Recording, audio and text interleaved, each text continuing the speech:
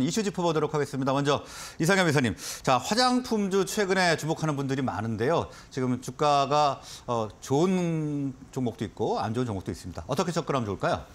네, 화장품 종목군들 참 좋습니다. 뭐 개인적으로도 좋아하고 이제 어닝 시즌 이제 들어가다 보니까 어 4분기 실적이 좋을 것 같습니다. 그래서 어 이렇게 섹터 내에서 어, 좀 시장 이렇게 종목군들이 신고가가 나오고 있는 종목군들이 한두 개씩 증가하고 있다는 것 자체가 아, 화장품 섹터에 계속해서 관심이 필요하구나라는 걸 알 수가 있는 것 같은데요. 이제 뭐 경기 침체, 뭐 경기도나 우려는 항상 계속 있는, 있는 상황인데 이 화장품 쪽에서는 저가 브랜드, 인디 브랜드가 계속해서 인기를 얻다 보니까 이렇게 경기 불안과 큰 영향이 없는 것도 중요한 것 같고요. 뭐 4분기도 이제 역대 실적이 기대가 되는데 음, 요게, 어, 그래. 4분기 실적이 기대되니까 기관과 외국인의 수급이 좋아지고 있구나라는 것도 확인해 볼 수가 있겠지만 한 가지 또 어디에서 힌트를 얻을 수가 있냐면은 네, 올리브영이 4분기별로 봤을 때 4분기의 실적이 좋습니다. 왜냐하면은 연말 결산 세일이 4분기 하거든요. 그래서 아, 그럼 화장품 쪽이 그래서도 좀 실적이 좋을 수 있겠구나라는 건좀 중요한 것 같고요. 어, 그리고 올리브영의 성장성 뭐 굉장히 워낙 크고 이제 어, 작년 한 해 추정으로 봤을 때는 이제 올, 어, 온라인 쪽에서도 이제 매출이 1조 넘었을 것으로 추정이 되고 있고 일단 이렇게 온라인 쪽에 매출이 좀 커지고 있는 게 뭐 오늘 드림 서비스를 하고 있더라고요. 그래서 뭐 이렇게 주문하면은 한 세, 네 시간 안에 또 당일 배송해 주고 또 세시간뭐 빠른 배송 선택하면은 밤에도 세시간 안에 배송을 해줄 정도로 그래서 올리브영의 성장 또 이제 4분기 실적 기대감이 있기 때문에 좀 지속적으로 관심은 여전히 필요한 것 같습니다. 네, 지금 화장품주 계속해서 주목할 필요가 있다 이렇게 말씀을 해주셨고요. 자, 다음은 손열희 팀장님. 자, 유가가 하락하면서 항공주들이 요즘 신바람이 난 것 같습니다. 주가도 굉장히 좋은데 어떻게 접근하면 좋을까요? 네, 어, 제가 자주 드린 말씀이 있습니다. 투자 insight는 어, 주변에서 찾아라 이런 말씀을 드리고 싶고요. 어, 로봇이나 STO 이런 종목들도 좀 아쉽습니다. 좀 미리 좀 봤더라면 대비할 수 있다라고 판단되는데 어떤 뉴스가 갑작스럽게 나오면서 어, 주, 일단 변호사 이미 나와버렸으니까 그래서 매매 잘하시는 분들, 매매 잘 못하시는 분들 위주로 종목별 차별해서 매매를 하시면 좋다고 판단되고 있고 어떤 매매 skill이 따로 필요 없는 sector가 필요하신 분이한다면 이제 이사님께서 말씀하신 화장품과 동일하게 reopening sector에 있는 항공 쪽을 좀 지켜보시면 좋을 것 같습니다. 어, 시장을 제가 유심히 지켜봤어요. 한 1주나 2주 정도를 봤었는데 뭐 IT 하드웨어나 운수 장비 이쪽에는 어떤 기업들이 있는지 아시죠? 뭐 IT 하드웨어 는 반도체가 있고 뭐 운수 장비 자동차, 뭐 방산 이쪽이 있는데 운수 창고 수급이 정말 조용하게 시장의 방향성과 상관없이 외국인과 기관의 매수가 들어온 모습을 한 2주 넘게 포착을 했습니다. 그럼 운수 창고에 어떤 섹터가 있냐면 뭐 하림이나 H&M, 페노션 같은 해운주가 있고요. 그 다음에 나머지 하나는 이제 코스피에 이제 항공 쪽이 있습니다. 뭐 대한항공이나 LCC 관련 종목들이 있는데 이쪽에 외국인과 기관이 정말 진득하게 2주 이상 저가 매수를 넣는 모습들이 확인됐었고 어, reopening에 대한 뉴스는 최근에 엄청나게 부각이 안 되다가 간혹 간혹 나왔어요. LCC 관련 종목들의 실적이 좋을 것이다. 뭐 올해 turnaround 할 것이다. 이런 뉴스가 나왔을 때 사실 투자자분들이 크게 관심을 갖지 않았습니다. 하지만 관심을 가지게 된 계기가 저, 어, 지난주 후반부터였던 것 같아요. 그러면서 거래량이 슬슬 실리기 시작했고 어, 이 LCC 관련 종목들에 대한 증거사 리포트가 많이 나오고 있으니까 확실히 좀 어, 투자자분들께서 관심을 가지셔야 된다고 판단되고 있고 앵커님 말씀해 주신 것처럼 유가에 민감하게 움직여야 되는데 유가의 하락에는 반등을 하고 유가의 상승에는 약간 좀 둔감하게 움직이는 모습 보여주고 있습니다.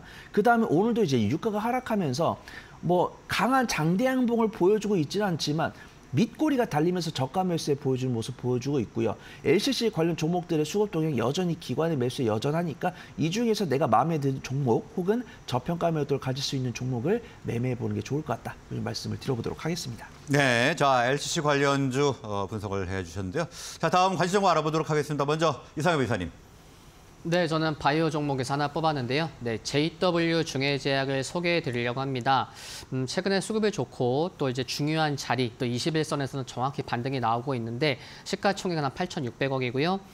어, 일단 실적부터 말씀을 드리면은 올해 사상 처음으로 영업이익이 천억 원 돌파할 것으로 전망이 됩니다. 처음이라는 단어가 실적에 붙을 때 굉장히 중요하거든요. 그래서 아 올해가 좀 중요하겠구나 그렇게도 좀 기억해 두시면 좋을 것 같고 또 이제 고지혈증 치료제 뭐 리바로 패밀리 또 혈우병 치료제 이제 햄리브라가 가파르게 성장 중인데 이쪽에 영업이익률이 높다는 거 중요한 것 같고요. 그리고 JW 중해제약 이그 AI 그 플랫폼 통해서 기술 수출을 두 건 했고 금액이 이제 5천억이 넘는데 어, AI 신약 플랫폼 뭐 클로버랑 주얼리를 이미 구축이 되어 있는데 요게 또 이제 신약 플랫폼으로 또 발굴한 물질 중에 음, 탈모 치료제가 또 기술 수출 기대감이 있다는 거 중요한 것 같고요.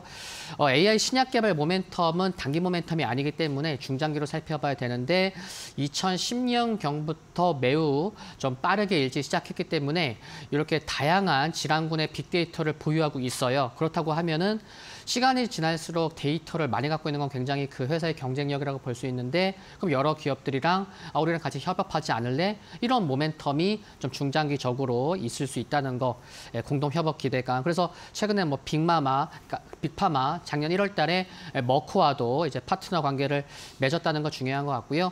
수급 보면은 최근에 좀 반등 시작한 곳이 한 11월 10일인데 어제까지 그냥 한 두 달 동안에 기관이 한 350억 매수하고 있고 어, 가격 전략도 말씀드리면 어, 매도 가격은 4만 2천 원, 손절 가격은 3만 3,900원 말씀드립니다.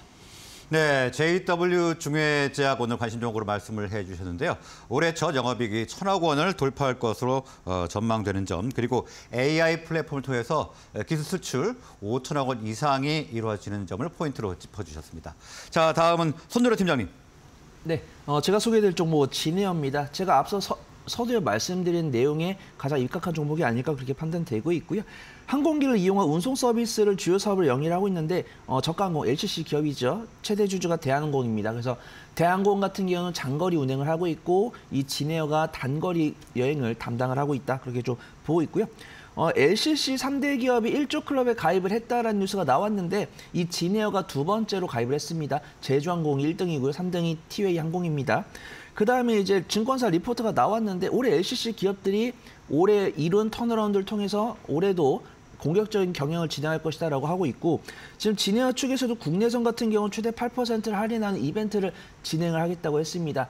근데 이 LCC 관련 기업들이 어, 환불 규정이 생각보다 까다롭습니다. 그래서 어, 이게 장점은 아니지만 여행을 계획해서 한 번에 어, 결제를 하신 분들은 상관이 없지만 어떤 변경이나 취소를 할 경우에는 수수료 상당히 물수가 있어요. 그래서 보면은 이제 약관에는 약 10%, 15% 이상 어, 뭐 수수료가 발생할 수 있다고 하는데 어, 실질적으로 계약 변경이나 어, 해지를 할 경우에는 더 큰 어, 수수료를 물 수 있는 이 부분이 우리 소비자한테 부정적인 입장이지만 LCC 관점에서는 아 LCC 기업들이 작년에 이어서 올해도 안정적인 실적이 나올 수 있는 원동력이구나 이렇게 좀 판단해 보시면 좋을 것 같고요.